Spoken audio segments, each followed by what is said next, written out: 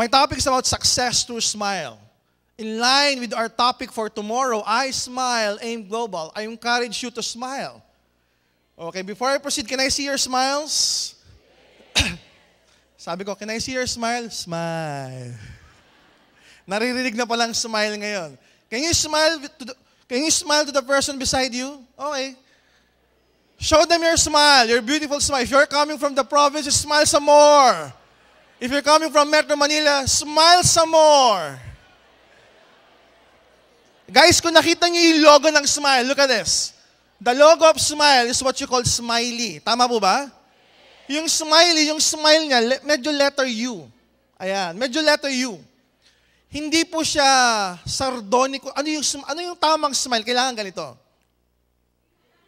Ayan, medyo letter yung ganyan. Yung iba kasi kung smile, sardonicus. Ano yung sardonicus ganito? Parang smile rapist. You don't only pull your muscles sidewards, but you also pull your muscles upwards. Okay? Again, smile. Ayaw talaga eh. Yung iba pilit eh. Pilit ngumiti. Guys, you need to smile when you're doing our business. Why? Ask me why. Do you know that one of the reason why a baby is so cute, no matter what race he or she would come from is because, according to studies, ang baby, kay negro yan, kay African yan, kay puti yan, kung Malay race like the Filipinos, maraming smiles ang nakapaligid sa kanya. Uy, ang kit-kit ng baby, oh. ang kit-kit naman ito, oh. taba ching-ching. And when you do that, all of these smiles gives a positive vibe and impact to that baby making that baby smile back to us. Bibihira yung pag ngumiti ka sa baby, hindi siya ngingiti. At times, iiyak, pero after some time, ngingiti rin. Tama o tama? At habang tayo tumatanda, as we grow old, nababawasan yung smile sa environment, kaya ganyan ang itsura mo ngayon. Kaya tignan mo yung katabi mo. Kapag hindi maganda itsura niya, ibig sabihin kakaunti yung umingiti sa kanya.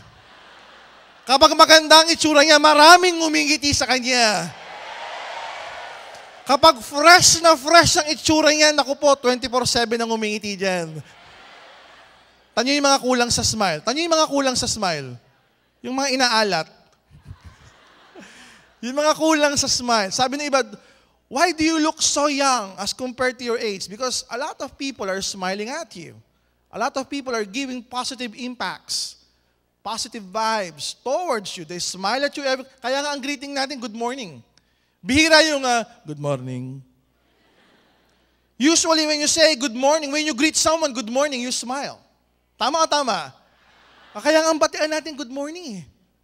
O imagine mo kung batian natin, condolence. Condolence power. Condolence payaman. Hirap, di ba? Hirap bitbitin eh.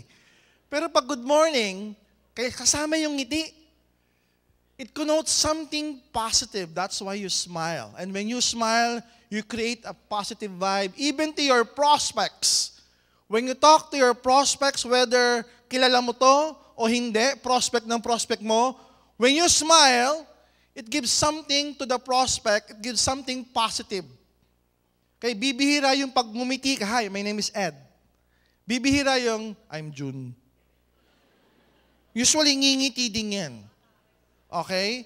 When you approach somebody and you smile, he or she would smile back normally. Everybody say normally. Pag hindi ngumiti, pabalik yon hindi normal yon. O, sample natin, sample. Sige, tingnan mo yun. O, sample na natin ha. Okay? Look, tap the person beside you. Kunwari, magpapakilala ka, Hi, my name is John. O, Hi, my name is June. Ngingiti ka. Tignan mo reaction niya. Okay, on the count of three. Okay, one, two, three.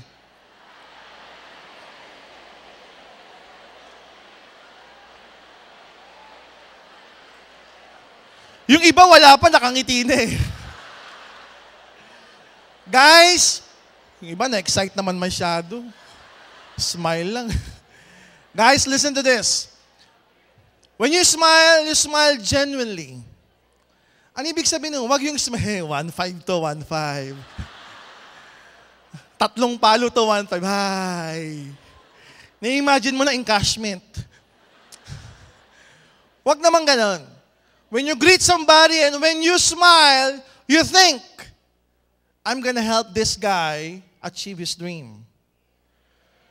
When you shook, when you shake the hands of your prospects, you smile and introduce yourself, you think and you imagine, I'm gonna help this girl raise her daughter. I'm gonna help this man be a real family man by spending more time with his family. I'm gonna help this guy buy into his dreams. Yun dapat yung iniisip mo para sa kanya. Hindi yung para sa'yo tatlong palo, unilevel star step. Hindi yung para sa kanya, naku pang GE ko to 100 pers profit sharing. Kaya yung ngiti mo hanggang tenga. Di ba? Nakauwi na sa bayan prospect, tumatawag ka pa, kamusta ka na? Masaya ka ba? Bakit? Pang profit sharing eh. Pang US trip, wag ganun. If ever you're gonna call that prospect, greet him, and smile at him, do it genuinely. Alam mo yung nakaka-receive ka ng tawag sa mga OFW, yung pagkausap kanila, kahit sa telepono ah, alam mo yung nararamdaman mong masaya sila at nakangiti sila. Okay. Whenever you call somebody, whenever you call your leaders, your downlines, your prospect, Hi, kamusta ka na? When are you gonna start doing the business? Kailan mo ba gustong magsimulang yumaman? Alam mo yung nararamdaman niya on the other end of the line that you're happy giving a follow-up on him or on her. That you're happy and you're excited and you're smiling at the end of the line.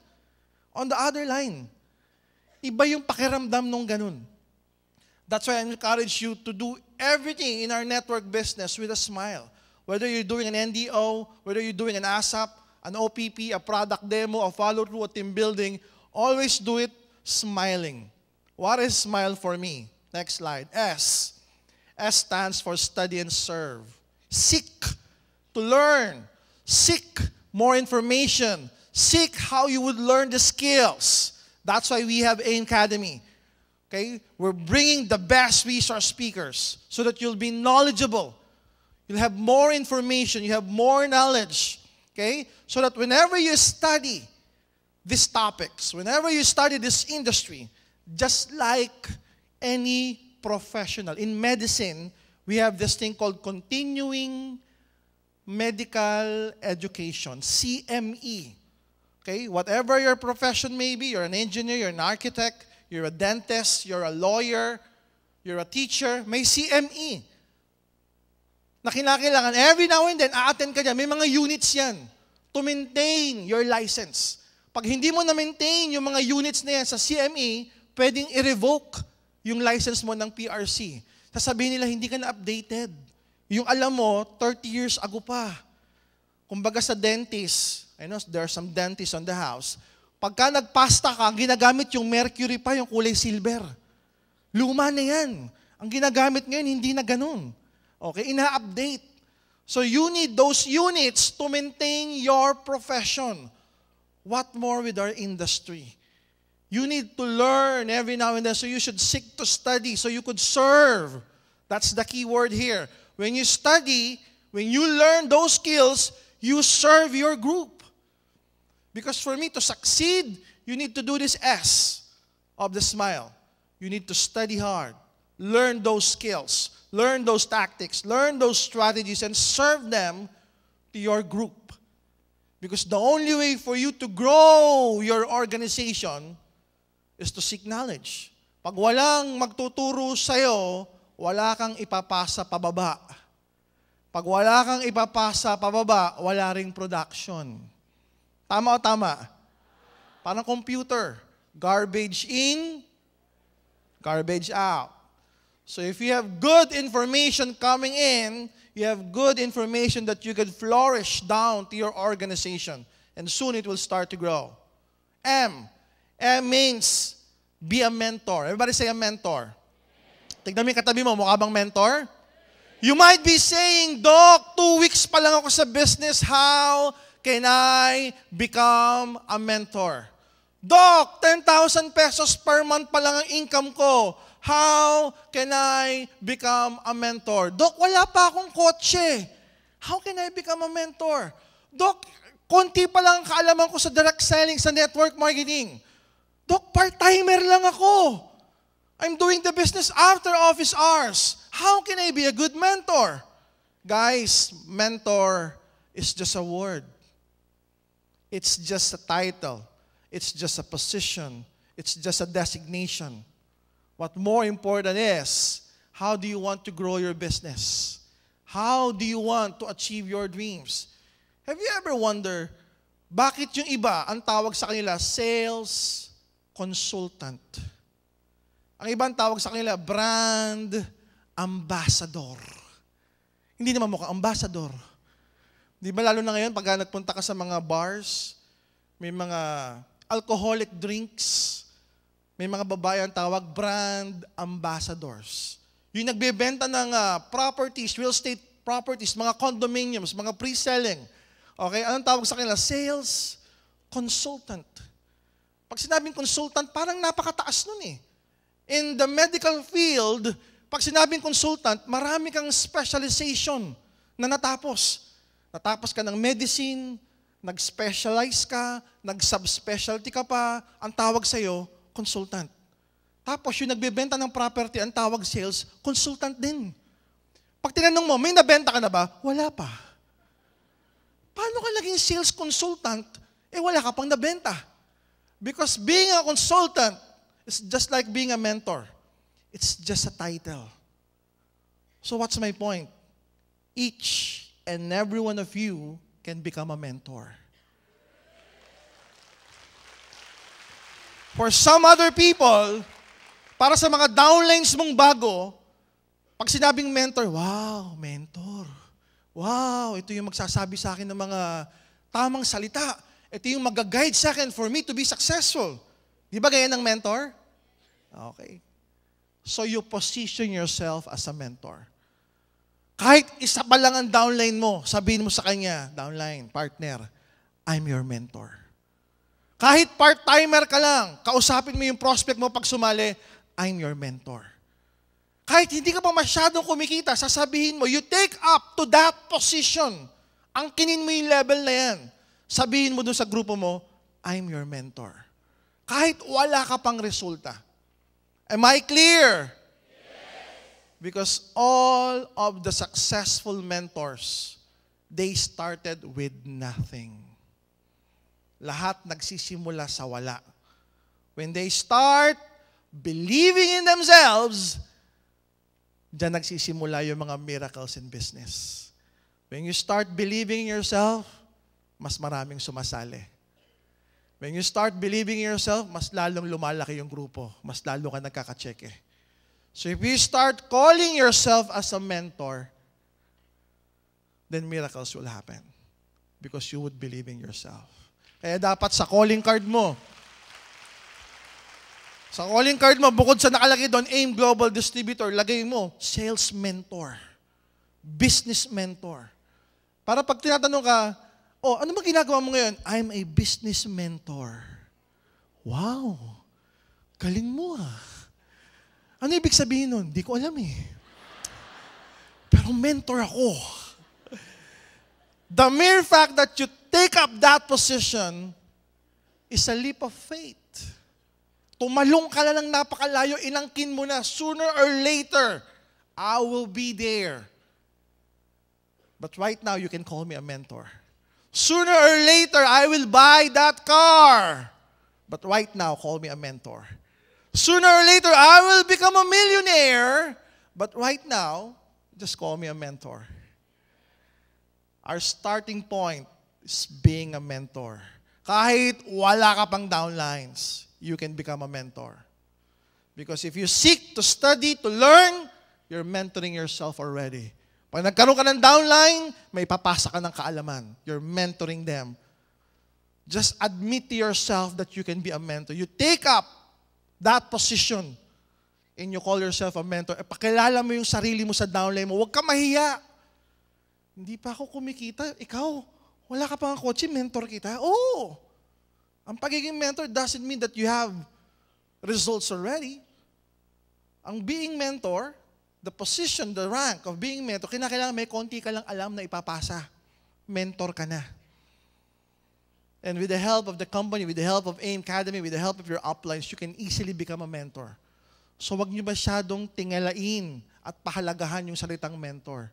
Because each and every one of you is a potential great mentor.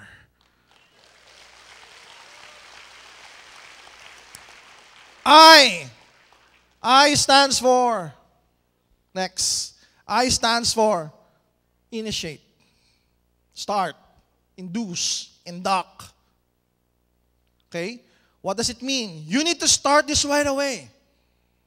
You don't need to think big. You don't need to think big right away. Baka sabihin mo, hindi, tsaka na ako, uh, tsaka na ako hahataw ng todo-todo, tsaka na ako magpo-full time, tsaka na ako magpapatawag ng mentor, pag tamang 50,000 per month na yung check ko. No! You initiate right away. If you want to succeed, you start right away. There's an element of speed. Okay? Wag mo wag wag mong pangunahan yung destiny mo by saying, tsaka na pag nag 100,000 per month, tsaka na ako magfo full time. Tsaka na pag nakabili ako ng second hand na kotse, tsaka ako papatawag ng metro. Tsaka na pag lumakalaki ng grupo ko. No. Start it right away. Initiate. Initiate this. Okay? Initiate this amongst your group. Sabihan mo na, uy, mentor mo ako ha, mentor mo ako. Okay? Tuwing pupunta ka sa office, text mo ako. Pag nandito ako, tuturuan kita. Ano tuturo mo sa akin? Basta nakasubscribe ako sa AIM Academy. Kung ano yung nabasa ko rin, babasahin ko rin sa'yo. Kung ano yung napanood ko rin, ibabagsak ko rin sa'yo. Okay? AIM Academy will help you initiate. AIM Academy will help you be a good mentor. AIM Academy will give you the knowledge, the skills that you need to smile, to succeed through smile. So initiate right away. Don't delay the process. Don't delay the success. Induce it right away. Initiate it right away in, uh, in the business world, they usually say, pag may naisip kang idea, how to succeed, how to become a multimillionaire, someone, somewhere on the other parts of the world, may nakaisip din yan. Sabay kayong nakaisip. The only question is, who will initiate it first? Because probably for some other people, they will say, naku, hindi ko yata kaya to, kulang yata ako sa puhunan, hindi ko yata magagawa to, makapalamukha ko. Magugulat ka na lang, 3, 4, 5 months from today, yung idea ang naisip mo, napapanood mo na sa TV, nababasa mo na sa dyaryo, naririnig mo sa radyo, may gumawa na pala. Why? Because you need to initiate right away. Calling yourself a mentor, learning all of these things, being a mentor, developing your group, you need to start it right away. You paid for this event. The fact that you paid for this event, you already initiated it. Meaning your success is already starting. Do you believe that? Yes. Your success is already starting. You pay the dues, you're learning, call yourself a mentor, you're starting it right away. L, you lead. You lead your group. May nakasabay ako sa elevator ng isang araw. Sabi niya, Dok, kamusta? Buti nakasabay ko kayo sa elevator. Ang saya-saya ko. Pa-selfie. Talagal naman eh, no? Pag hindi nag-selfie, hindi Pinoy eh. Sabi ko, ah, ano, nakalimutan ko kaninong grupo siya eh. Sabi ko, anong pangalan ng anong pangalan anong pangalan ng grupo mo? Yun ang lagi ko kasing tanong eh. Lagi ko tinatanong, sino upline mo? Anong pangalan ng grupo mo? Sabi ako, Dok, pangalan ng grupo ko, Team 1. Ba, ang ganda. Team 1. Ilan na kayo sa grupo mo? Ako pa lang. Kaya pala team 1. Sipin nyo, isa pa lang siya, sa, isa pa lang siya, may pangalan na yung grupo niya. Eh yung iba daan-daan na libo-libo na wala bang pangalan yung grupo. Tama o tama? Sipin mo, ganun kataas. Ganun kataas yung paghahanda niya sa future niya, mag-isa pa lang siya. In fact, kakasaling niya pa lang daw a few months ago eh. Pero may pangalan na yung grupo niya, Team 1. Know what? After a few days, nakasalubong ko ulit sa elevator. Sabi ko, oh, kamusta? Ikaw si Team 1, di ba? Yes, Doc, thank you, naalala niyo ako. Picture, selfie, ulit selfie. Sabi ko, ano pangalan ng grupo mo? Team 38. Sabi ko, bakit? 38 na kami, Doc. Sabi ko, wow. Can you see the power of names, the power of leading, the power of calling your group, the power of leading your group strategically, professionally? Kasi pwede naman walang pangalan eh. O, tara, grupo tayo ha. Basta mag-record ka sa kaliwa, record ka sa kachume, check ka na, okay na yung power. Atan ka ng NDO, okay. Team building tayo, okay. Banding-banding tayo, okay. Ang pangalan ng grupo, tsaka na yung grupo-grupo, lalago naman tayo eh. It can be done that way. Or you can meet your group, guys. Dalawa pa lang tayo ngayon. Pero soon, lalago tayo. Ayoko mag-isip ng pangalan pag malaki na tayo. Gusto ko ngayon pa lang, iniisip na natin yung pangalan natin. Ano pangalan natin? Team 1. Sino kausap niya? Salamin. Lalago tayo. You know what? He sold that idea to himself. He sold it so well, he believed in himself so much. He was able to sell that idea to his group. Now, Team 38 na sila. Who knows? Few months from now, a few years from now, Team 3,000 na sila. And it can happen.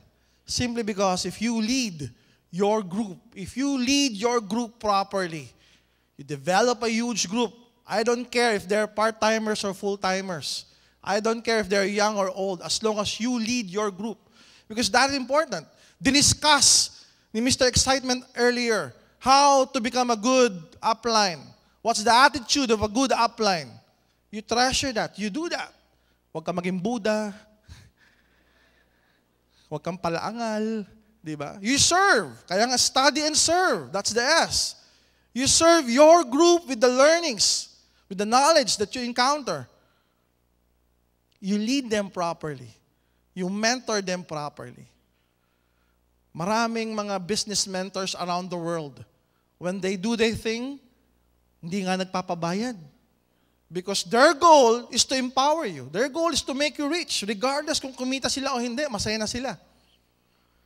Because they're leading the industry. It's one way for them to give back to the society. One way for them to give back to the market. They've been paid so much. AIM Academy is one way. One way for us to serve you. Kasi hindi naman 24-7 kasama namin kayo eh. Hindi naman 24-7 mabibit-bit nyo yung training team sa Dagupan, sa Baguio, sa Bulacan, sa Batangas, sa Cavite. May oras din yung mga yan, may pamilya din yung mga yan. Tama o tama? Not all the time, you can bring us and let us talk to your prospects, to your groups, worldwide. But with this AIM Academy, we're leading you into having an access to this online facility 24-7. Nakaka-leverage tayo dyan. Lead. Lead and leverage. Okay? Sa Facebook natin, whenever there's something good there, you like it. You share it, and then you comment. Basta yung comment, positive ha? you like, You share, you comment. Why? Let's make it a buzz in the Facebook world. Because when you make it a buzz in the Facebook world, soon, they'll be saying, ano ba yung AIM Global na yan? Ba't yan ang trending? Papatayo raw ng building. Kalimutan lang siguro i-mention kanina. Guys, sabay po yun. Yung 23-story building, tsaka yung 4,000 square meter na beverage manufacturing facility, sabay gagawin. Siyempre, yung manufacturing facility, mas maunang matatapos yan. 12, 15 months tapos na yan. Whereas yung sa building, it's, it's gonna take 24 months, 20 months, 20 to 24 months. So, just in time for our 10th year anniversary, For our 10th year anniversary, may bagong bahay na tayo. Are you excited? Lead your group. Lead your group. Leverage Use leverage. How? With this online facility. How? With your uplines.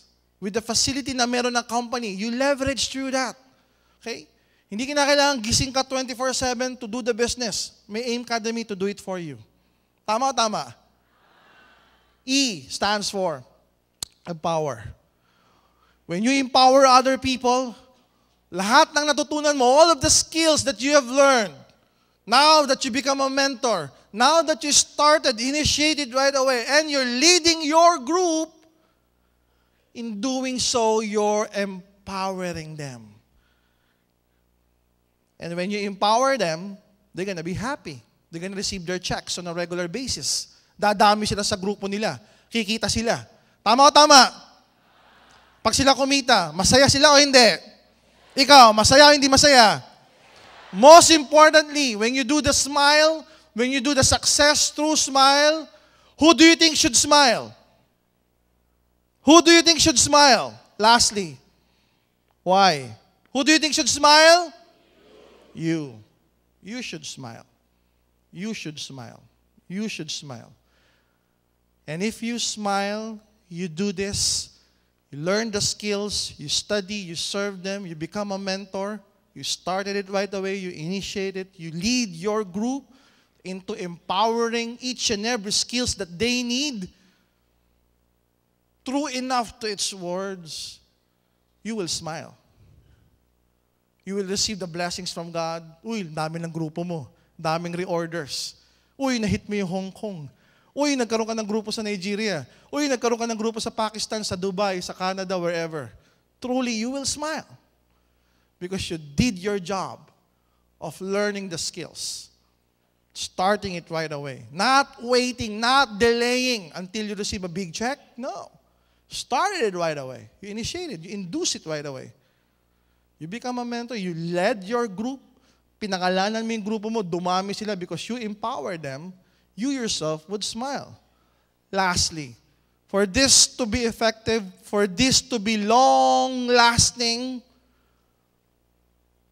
kaya yung iba nagugulat eh. Bakit yung iba kumita ng malaki one time lang hindi na naulit na mata yung grupo? Meron bang ganon? Bakit naman yung iba, ang cheque, ang laki every week? taon na every week, ang laki pa rin ng cheque. If you want to succeed through smile, next, you need to duplicate smiling. Duplicate it. Show your group how to study and serve as well. Show your group, hey, it's okay to be called a mentor kahit bago ka lang. As long as you initiate it right away.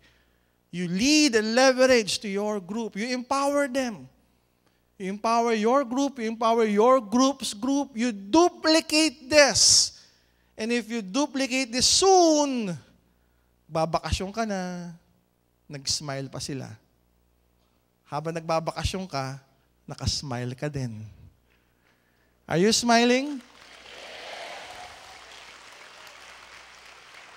Because if you're gonna do this effectively and efficiently, there will come a time Again, you'll be buying your dreams smiling. They'll be buying their dreams, your group's dreams, smiling. You did this through smile. You empower them through smile. And true enough, your face would be smiling. On that note, thank you very much. You've been a wonderful audience. With AIM Academy, I smile. God bless each and every one of you.